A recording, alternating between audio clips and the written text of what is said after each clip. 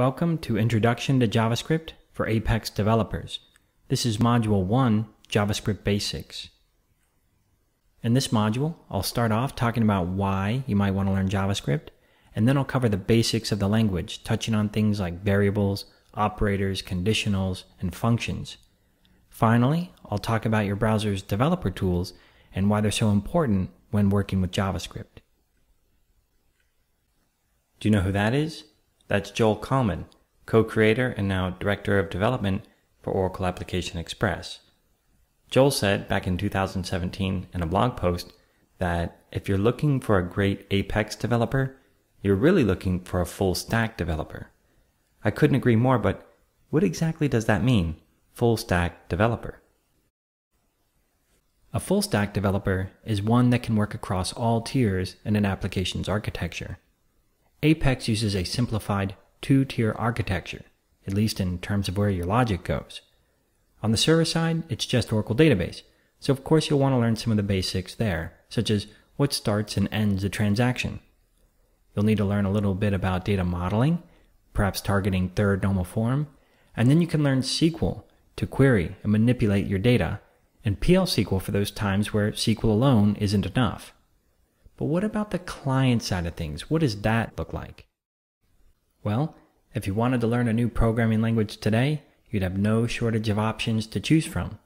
There are old languages and new languages, even languages with cute little animals for their logos. But only one of these languages is going to help you fill in the picture when it comes to client-side development in a web browser, and that's JavaScript. So the client side of things ends up looking like this. As was the case with the server side before you got to SQL and PL SQL, you first had to learn a little bit about Oracle database and data modeling. Well, before you get to JavaScript, it's best to know at least a little bit about HTML and CSS. I won't cover either of those topics in this workshop, but there are plenty of free resources available online. Keep in mind, your goal here is not to become some kind of JavaScript master because it often takes just a few lines of JavaScript code to deliver functionality not available out of the box with Apex. And that is the reason most Apex developers would want to learn JavaScript. I do want to warn you before we continue. Adding custom JavaScript code to your Apex applications does add some risk, and this is because the JavaScript code is often dependent on the underlying structure and content of the HTML that Apex generates, and that can change from one version to the next. So when you upgrade Apex, you may need to update your JavaScript code to accommodate those changes. Generally, it's not too bad, but don't say I didn't warn you. Here are some tips to avoid any issues while upgrading Apex. Number one, be conservative in your assumptions about the HTML that Apex is going to generate. If you can use your own static IDs, custom CSS classes, and HTML tags, that's always going to be safer. Number two, stick to the documented Apex APIs. There's a link here you can use to access the documentation for Apex's JavaScript APIs. And there's a saying in the Oracle world, if it's not documented, it's not supported. That's certainly true here as well, so just stick to what you find in that documentation. Number three, avoid deprecated APIs. To do that, you'll need to read through the release notes for each new version of Apex to find out what's been deprecated. That also includes, however, the third-party libraries you may be using, such as jQuery. In those same release notes, they'll let you know if they've changed the version of such libraries, and if that's the case, you'll need to check the release notes for that library to see if anything that you're using has been deprecated or outright removed. I think it can be useful when learning a new language to use a language you already know to help. I think everyone watching this will be comfortable with PL SQL, so I'll be using that language to introduce new concepts in JavaScript. PL SQL was designed to extend SQL. It's in the name, the procedural language extensions for SQL. JavaScript, on the other hand, was designed to program the web. Both languages are third generation programming languages, but PL SQL is based on Ada, and that's where it gets its block structure, the execution sections and optional declaration sections, as well as things like the difference between a function and procedure. All of that comes from Ada. JavaScript, on the other hand, borrowed from Scheme, C++, and Java, so it has a more modern syntax. It's also a very flexible language. You can use it procedurally, like we do with PL SQL, but you can also use it functionally, object oriented, event driven. It's a very flexible language. Let's get into some of the details, starting with variables and data types. Hopefully everyone is aware of how declaring variables works in PL SQL. In the example on the right, I have two anonymous blocks, one nested within the other. What I'm doing here is referring to max salary, and the way scope resolution works, PL SQL will first look to see if I've declared max salary in the current scope. If it doesn't find it there, it'll go to a parent scope and look for it there. In this case, it'll find it and assign the value of max salary to L salary. And PL SQL declaration is always done in the optional declaration section, and we're seeing that twice here. Once for this constant, and then again for the variable L salary.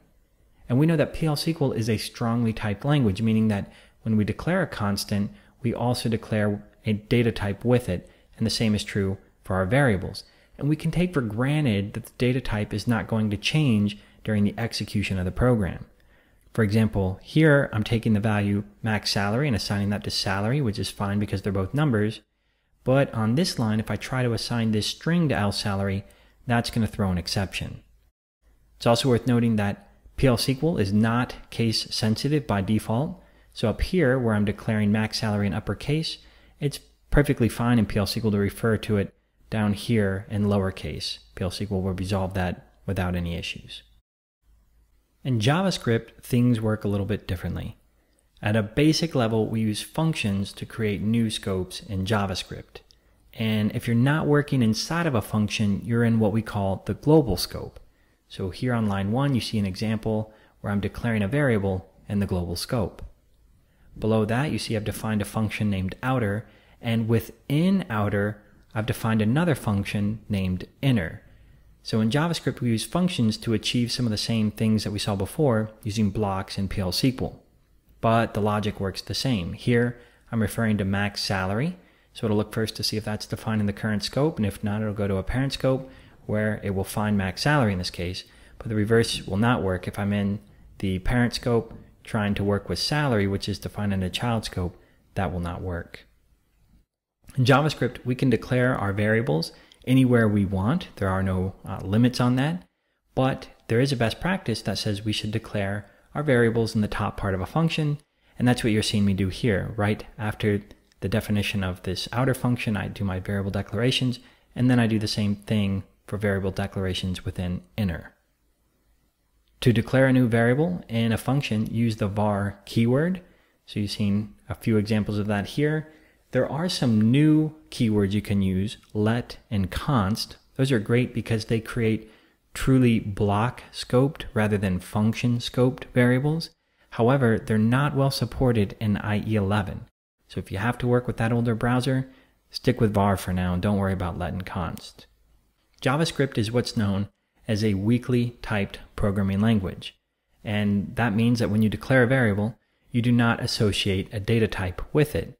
In JavaScript, it's the values that have data types. This is a string, and this is a number, and so on. So it's perfectly fine for me to here assign max salary, a number to salary, and then follow that up by assigning a string to salary. This will not throw an exception in JavaScript. And if you're coming from a strongly typed background like PL SQL, this may worry you some, but trust me, it's not going to be a problem in your JavaScript applications. Finally, I'll point out that JavaScript is case sensitive. So where I declare max salary here using uppercase, I must use that case down here as well. Just something to note coming from a background like PL SQL. Here I have a list of the most common data types in PL SQL. Of course, we have access to all of the SQL types as well as many PL SQL only types, such as the new JSON data types, but these are the ones you're probably using in most of your applications. Here I have the most common data types you'll work with in JavaScript. Note that they're broken up into two groups, primitive types and objects. As far as primitive types go, I have undefined here and null, and there is a difference between these two in JavaScript. And you'll very commonly be working with string, number, and boolean. As far as the objects go, we start with object. You can think of that as the parent from which all the others inherit, and that includes date, array, and function. Here you're seeing function as a data type, and this is something I'll revisit a little bit later. When it comes to the difference between primitive types and objects, the easiest way to think about it is what happens when you pass one of these as a parameter to a function. We know that we can pass parameters one of two ways, either by value or by reference. When you pass a parameter that's a primitive type to a function, you will always be passing that by value. On the other hand, when you pass an object as a parameter to a function, that will always be passed by reference. Also keep in mind that JavaScript does not do decimal arithmetic, so 0.1 plus 0.2 equals 0.3000004. That's basically a rounding error. And to be fair to JavaScript, this is actually the case in many other programming languages, such as Java, Python, and so on. So if you need to do decimal arithmetic for whatever reason, you'll need to include a library to get that done. In JavaScript, there are two syntaxes you can use to create new objects. The first is called the literal syntax, and the second is the constructor function syntax. In the examples on the right, I'm starting off with a string literal, and I'm assigning that to the variable myString. On the next line down, you see an example of a number literal, and after that, you see a Boolean literal. On line four, I have an example of an array literal. To create one of those, you just open with the square bracket, then you can place any values you want in the array. This is just a comma separated list of values. And as you can see, it's really just more literals, a string literal, a number literal, and so on. And you can also note that the values that go into an array in JavaScript do not need to be the same data type. This is fine in JavaScript. And we close off the array again with a square bracket. Beneath that, on lines 5 through 8, you see an example of an object literal. Objects are very common in JavaScript and easy to create. You just open with the curly brace, and then you're putting combinations of name value pairs inside the object. So this object will have a property named prop1, and then we separate the name of the property from its value with the colon. In this case, prop1 will have the value of my string, which is a string hello. And then we use a comma after each name value pair. So I can start here prop 2 colon, and prop 2 will have the value pointing to 42. And when you're done, you just close off the object again with the curly brace. Line 9 here is the oddball out. For whatever reason, dates do not have a literal syntax in JavaScript, so you have to use the constructor function. And you can tell that it's a constructor function because we have the new keyword in front of the function name. Also note that date starts with a capital D. Although it's not enforced, there is a convention in JavaScript that says constructor functions should start with a capital letter. So keep that in mind when you're naming your own functions. Don't start them with a capital unless you intended them to be used with the new keyword in front of them. If that doesn't make any sense, don't worry about it. Just don't start your functions with a capital letter. All right, let's move on to operators. Here I have the most common types of operators that you'll be working with, assignment, arithmetic, comparison, and logical. When it comes to assignment operators in PL SQL, there's just one, the simple assignment operator. And we know for that we use the colon equals. In JavaScript, to do the same operation, we just use equals, but JavaScript also has a number of what are known as compound assignment operators in which we can do two things in a single pass. So for example, if you want to add a value and assign a value at the same time, you can use plus equals. Here's an example of using the assignment operator in PL SQL. Up in the declaration section, I declare a variable. It's a type of number. And then in the execution section, I use the assignment operator to assign the value 1 to the variable. Here's how the assignment operators work in JavaScript. So in place of colon equals, we're just using equals for simple assignment. But then of course you have these compound assignment operators available as well. When it comes to arithmetic operators, things are pretty much the same until we get down to modulus. In PL SQL, we use a function instead of an operator, whereas in JavaScript, we have an operator and it's the percent sign. JavaScript also has operators for increment and decrement, which are missing in PL SQL. Just a heads up, the plus sign is also the concatenation operator in JavaScript, and that means if either operand is a string, you get concatenation. It's only when both operands are numbers that you get addition.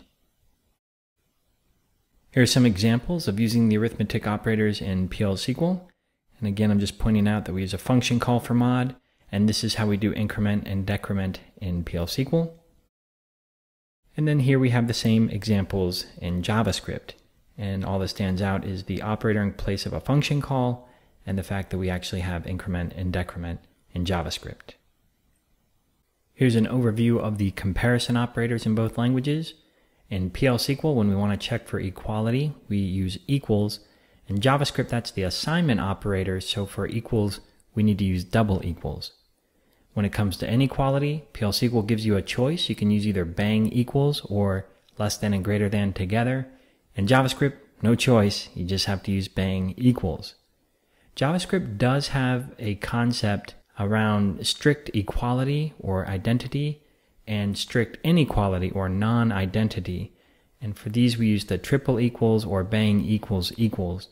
And the way these work, when it comes to a primitive type, what we're comparing is not just the value, but also the data type. So we avoid any implicit data conversions.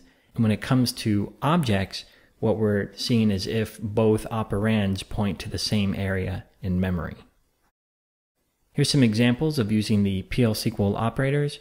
So in the top part here, I declare a variable named L number and assign it the value 1. And then down here, I'm checking to see if L number is equal to 1, and of course that's true. But on the next line, I'm checking to see if L number is equal to the string 1. And in PL/SQL, that's also true, which is fine. It's never really a problem. And here's how we can do the same in JavaScript. So again, starting with a variable with the value 1 and I'm checking to see if it's equal to 1, that's true. And using double equals, if I compare that to the string 1, it's still true, just like PL/SQL. But in JavaScript, I can use the strict equality operator, the triple equals, and this will check not only the value, but also the data type and avoid any implicit data conversions. So of course, in this case, we get false.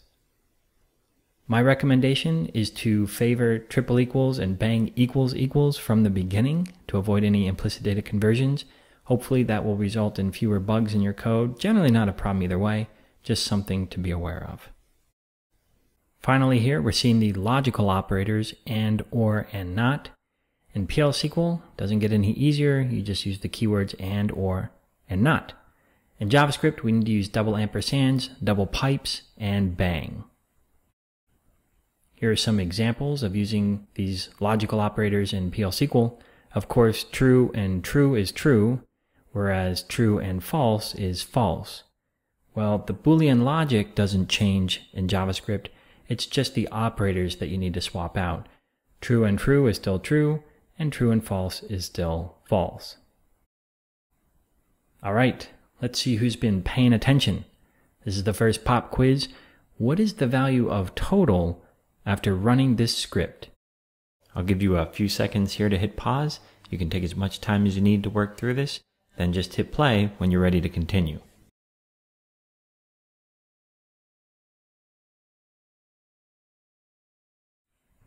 Okay, time's up.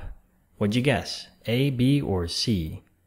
Let's work through it to get the correct answer. So we're starting here declaring a few variables. Food is 10, tax is 0.1, 10%, and then the tip is 2. So when we evaluate this expression, we need to start with parentheses first. So we'll take food at 10 times tax, 0.1, and we get 1. Then we can work left to right. We start with food, which again is 10, plus the 1 is 11.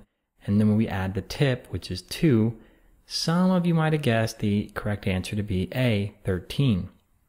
However, Keep in mind that the plus sign is doing double duty.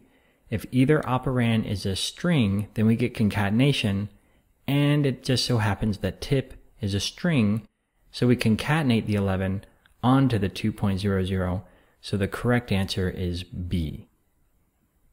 All right, let's move on. Next up, conditionals and loops. We'll start first looking at conditional logic. Both languages have several different options in PL/SQL, you have case. In JavaScript, you have switch and the ternary operator. All I'm going to talk about is if, then, else, because that's all you really need when starting with JavaScript. Here's an example of how we use if then else in PL SQL. I'm starting in the declaration section declaring a variable named L result and then another one L random which will have a random number between 1 and 5. And then in the execution section I'm using an if then else here to check to see if the value of L random is 1 or 2 then I'll assign the string small to L result. Else if the value is 3, I'll assign medium to result, else I'll assign large to result. Couple of things to note here. First of all, the expression in the else if check has parentheses, whereas the first expression did not. So that tells you that the parentheses in PL SQL are optional. You'll also note that else if is combined into a single word, and also the way we create the blocks for each condition is using the keywords then in this case and else if ends that block, then and else ends the second one, and else to end if ends the third block. In JavaScript, things are a little bit different. So again, I'm starting with result and a random value between 1 and 5. But here in my if, note that the parentheses and both expressions are included and that's because they are not optional in JavaScript. Also note that else if is two separate words, and the way that we create the blocks is not using keywords, but rather the curly braces and then the end curly brace for each one after the expression. While we're on the topic of conditional logic, I want to point out that JavaScript has the concept of truthy and falsy values. And there are six falsy values in JavaScript. False, of course, but also null, undefined, nan, or not a number, zero, and an empty string. So if we look at this check down here, where I'm saying if false, obviously that's not true, so we evaluate the next expression. Null, that's not true because it's falsy.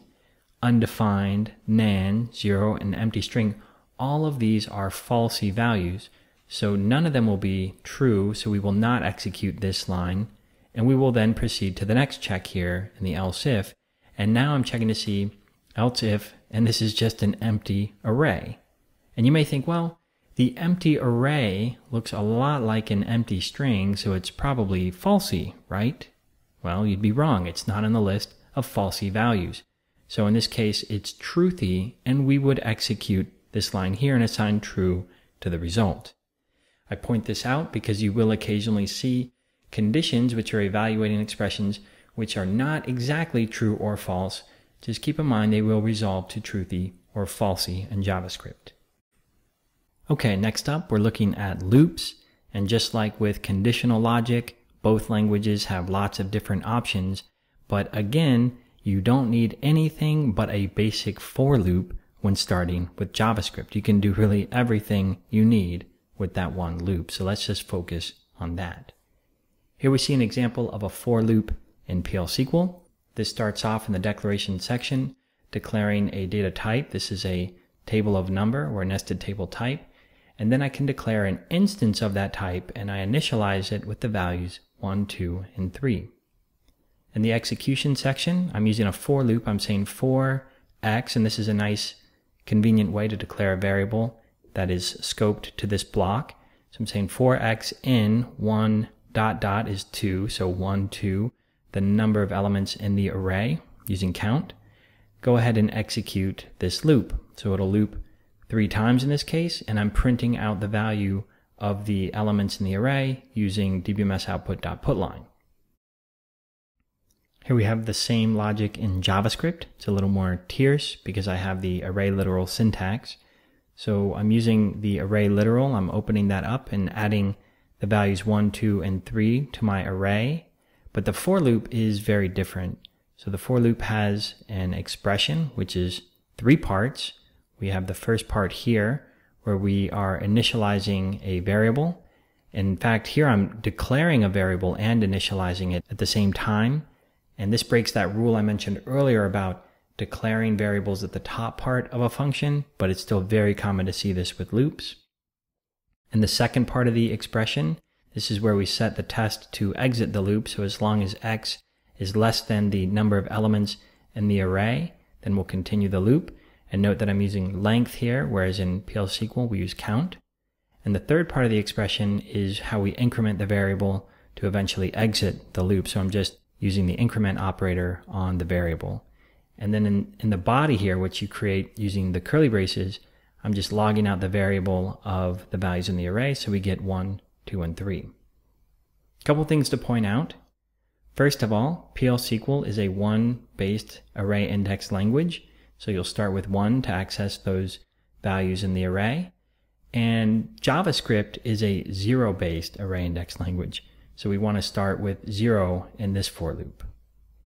The other thing of note is that in PL SQL, we use parentheses to access the elements within an array, whereas in JavaScript, we use the square brackets to do the same thing. Just slight differences, but important ones. Okay, next up, we'll talk about objects and functions. Now I have objects here in double quotes because I know there's an object-oriented side of PL SQL, and that's not what I'm using. I'm using a simple record type but we'll play it out anyway. So here I'm declaring a record type and it has two properties, first name and last name, both of which are varchar 250s. And then I can declare an instance of that type here, L person. Now if I want to set the values of those properties, I can use the dot syntax combined with the assignment operator. And here I'm assigning Jane to first name. And then if I want to access the values of those properties later, again, I just use the dot syntax. And in this case, I'm outputting the name to dbms output.putLine. Here we have that same logic in JavaScript, and it's a little more terse again because I have this object literal syntax I can use. It's a little bit lighter weight. So I'm creating a new object and I'm opening that up with the curly braces and closing it with curly braces. And in the middle, I have two properties with name value pairs. The name and the value are separated by a colon and the pairs are separated by a comma. So just like in PL SQL, if I want to assign values to the properties, I can use the dot syntax combined with the assignment operator to assign Jane, in this case, the first name. And then later on, if I want to access the values of the properties, I again just use the dot syntax. And in this case, I'm outputting the name using console.log. I mentioned earlier that PL SQL, because it's based on Ada, has a distinction between functions and procedures. Functions always return a value and procedures never return a value. JavaScript, on the other hand, only has functions. So if you want to do something like you might have done with a procedure in the past, you simply create a function and just don't return a value. It's really that simple. There are two ways you can go about creating functions in JavaScript. The first is using the function statement. And here you see I'm using the function statement I put the function keyword followed by the name of the function and then parentheses for any parameters. The parameters are optional, but the parentheses are not. And then the body of the function is open and closed using the curly braces. The other way you can do it is using a function expression. And the function expression is on the right hand side of the assignment operator here. You're seeing the function keyword. This is an anonymous function expression. The function doesn't have a name, but the rest is pretty much the same. You have the parentheses with optional parameters and then the body of the function. Now the way you can tell whether you're using a function statement or an expression is if function is the first keyword in the statement. And on the left, that is the case. However, on the right, the first keyword in the statement is var. So this is a function expression. And I point this out because you'll see both syntaxes used quite often. And for the most part, at this point, at the introductory level, we'll just say that these are exactly the same. There are some nuances to each, but for now, we'll think of them as the same. Here we see an example of using functions in PL SQL.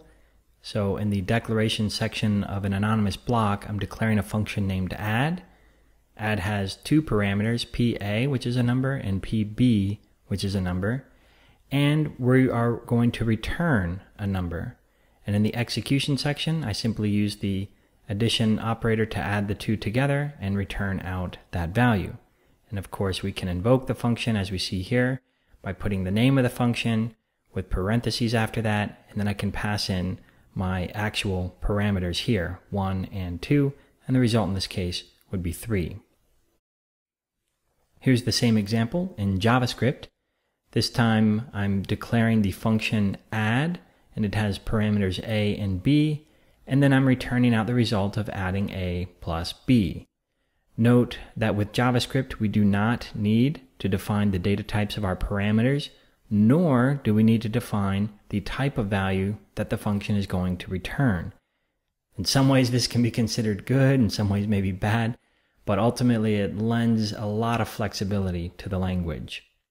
Down here, we're calling add. I'm invoking add very much the same as in PL SQL with parentheses, passing in the parameters 1 and 2 to get a result of 3. Keep in mind, if 1 was a string, by the time it got here, it would be Uh, the string 1, that would be concatenation. 1 concatenated to 2 would be 12, and it would return the string 12. Again, that may sound a little worrisome, but trust me, in real life, this is not such a problem. I mentioned earlier that functions are a data type in JavaScript. And the more formal way to say that is that functions are first class in JavaScript. So they're just like any other data type, numbers, strings, whatever. You can assign a function to a variable, and you saw an example of that in the previous slide with a function expression. You can also pass functions around as parameters, and you can even return functions from other functions. I don't have an example of that here. This one's a bit simpler, but let's see if we can work through it. So on line one, I'm declaring a function named myFunction1 that accepts a function, and first it logs the value 1 to the console, and then it invokes the function that it was passed. Below that, I have a function named myFunction2, and it has some parameters here, but they're actually not used within the body, so just ignore those. All this does is log out the value 2. On line 10, I'm invoking my function 1, and I'm passing a reference to my function 2 here. Note that there are no parentheses on the end, so this is not invoking my function 2, it's simply passing a reference. So what happens, my function 1 is invoked, it logs 1 to the console, that's why we see that first, and then it invokes my function 2, and that is why we see 2 then logged to the console next. You'll see why this is important in JavaScript when we get to Module 3 and talk more about events. When you work with JavaScript in a browser, you'll have access to a variety of objects and functions provided by the browser. The first and maybe most important of these is the window object, and we consider this to be the global object. You can think of that maybe like the sys schema in Oracle. Another important object is the document object. This is an API we'll be looking at closer in Module 3. It's how we access the DOM.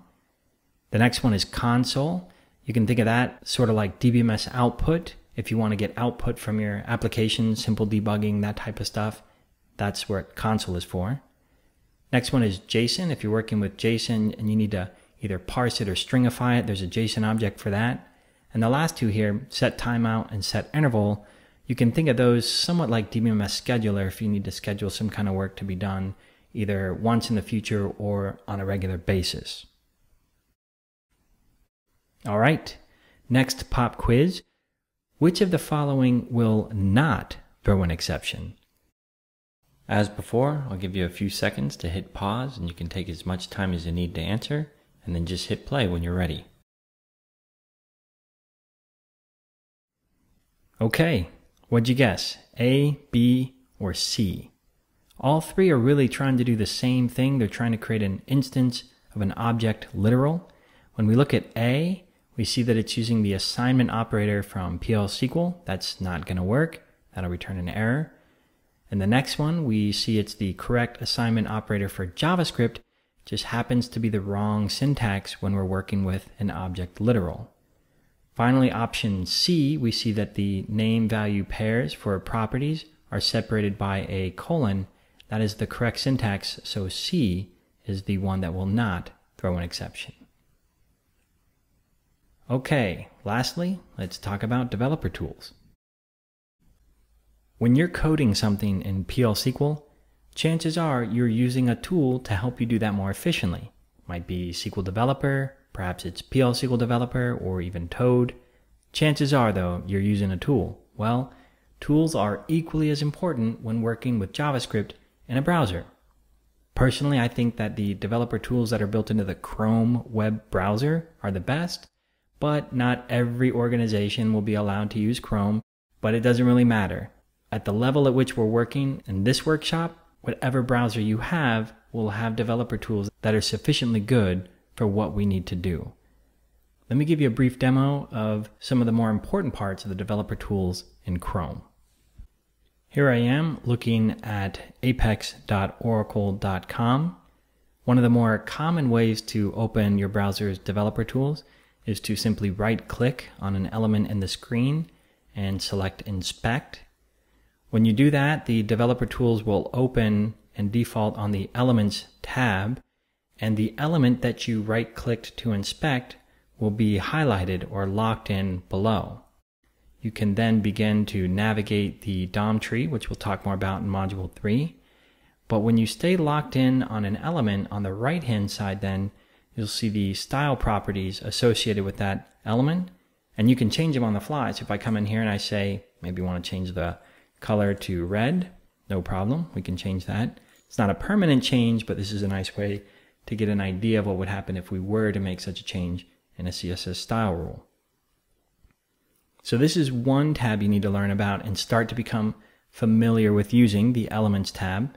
Again, mostly used to uh, look at the structure of the HTML content and affect some properties. Another way you can do this is by selecting this option here and then you can hover over the content above and then click what you want to lock in on. Moving over now to another tab I want to show you. This is the console tab. And the way you can think about the console tab is almost like it's a JavaScript playground of sorts. And when you type JavaScript in here, like let's say I do a console.log and then I pass in hello world, you knew it was coming. So when I execute this line, we see the result here in the console, which makes sense because we're in the console tab. I can also do things like declare a variable. So if I say var test equals value, and I execute that, well, the question is where did it go? And if you remember before, I said that if you're working with JavaScript and you're not in a function, you're in the global scope. And I said at the very end of that presentation that window is the global object. So even though I use the var keyword here, which would normally keep a variable inside of a function, I'm already in the global scope. So basically I can say window dot test, and then we get our value here. But because window is the global scope, I can also just say test, and it will use scope resolution to eventually find that anyway. First checking, well, I'm in the global scope, so that's where it's going to find it. Let me clear this out. I'll clear the console. And I just want to show you one other thing. So you'll be doing this in the workshop, by the way. But if I type function and then I separate this out, I want my function to be on maybe multiple lines. To do that here, I need to hold shift and hit enter a couple times to get extra lines. It's a little bit of a pain, but that's just the way that that works here. I can give this a function name like test and use a console log in here to console log one. Now, if I hit enter, I've not executed the function, I've simply defined the function in the global scope right? Remember that what that is, I can then say window dot test. When I invoke that, I get one. Of course, I could just do test. That would work just the same. All right. I mentioned before that you'll use the console in the first module. So if you point your browser to bit.ly slash JS for Apex, you'll redirect to the hands-on labs for this workshop. And what you need to do is select Module 1 on the right-hand side, and then you can start working through the labs for this module. If you want, you can just expand them all. So what you'll be doing in the first part is simply begin to get comfortable working with your browser's console. You'll practice opening it, you'll practice moving it around, and then executing some simple code within it. Again, the console is terribly important when working with JavaScript, so take your time as you go through this. There's no rush. In part two, you'll start working with variables, data types, and operators, and there's a few exercises for you to go through there. And then in part three, you're building up now to conditionals and loops. And finally, in part four, you'll take a look at objects and functions. All right, go ahead and start working through the lab for Module 1, and when you've finished, return to the presentations and start on Module 2. I'll see you on the other side.